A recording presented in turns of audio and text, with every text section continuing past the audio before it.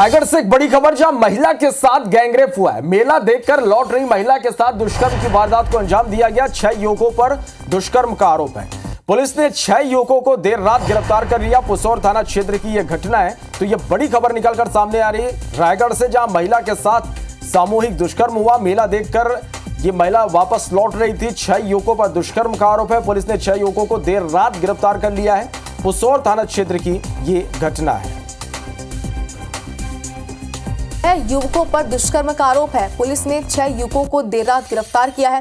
पुसौर थाना क्षेत्र की ये पूरी घटना बताई जा रही है। तो महिला के साथ गैंगरेप का ये पूरा मामला है। बताइए जा रहा है कि जो महिला थी, वह मेला देखकर लौट रही थी। उसके साथ इस दुष्कर्म की वारदात को छह युवकों ने अंजाम दिया है।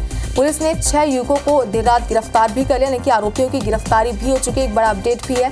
पुसौर थाना क्षेत्र की ये पूरी घटना है। और ज़्यादा जानकारी के लिए हमारे सहयोगी अविनाश पाठक हमारे साथ इस वक्त फोनलाइन पर जुड़ चुके अविनाश, एक तरफ़ अगर देखा जाए तो इस पूरे मामले को लेकर, रेप को लेकर पूरे देश भर में डॉक्टर्स की हड़ताल चल रही है। दूसरी तरफ़ ऐसे मामले छत्तीसगढ़ मध्य प्रदेश से भी सामने आ रहे हैं। आपसे रायगढ़ की अगर बात करें तो क्या ये पूरा मामला था, कौन थे ये आरोपी और कैसे इस पूरी वारदात को अंजाम दिया गया, विस्तार से समझाइए।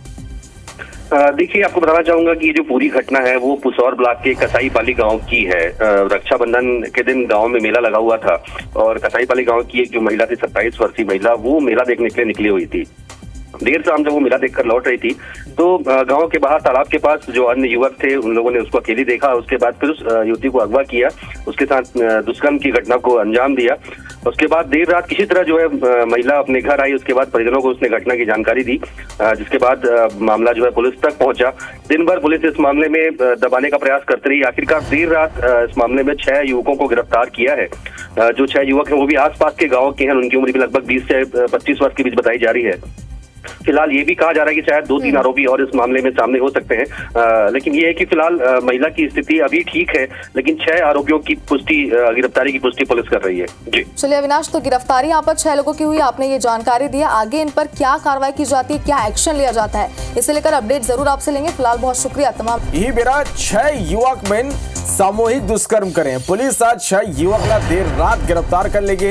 पुसौर थाना क्षेत्र की ये पूरा घटना है। तो ये बड़े खबर निकल के आगू आज रायगढ़ ले, जहाँ महिला के संग सामूहिक दुष्कर्म हुए।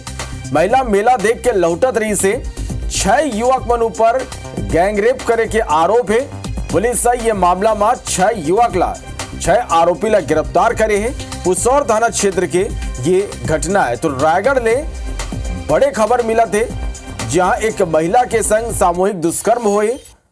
मेला देखे पर ये महिला गेरी सब मेला देख के जब लौटत रही से तो छह युवक बन महिला के संग सामूहिक दुष्कर्म करे पुलिस साथ तत्परता दिखाते हुए ये मामला में छह जो आरोपी युवक है, वो मतलब गिरफ़्तार कर ले पुसौर थाना क्षेत्र के ये घटना है। तो ये बड़े खबर है, रायगढ़ ले, जहाँ मेला देख के लौटत महिला के संग सामूहिक दुष्कर्म के मामला आगू आए, छह युवकों पर गैंगरेप के आरोप है।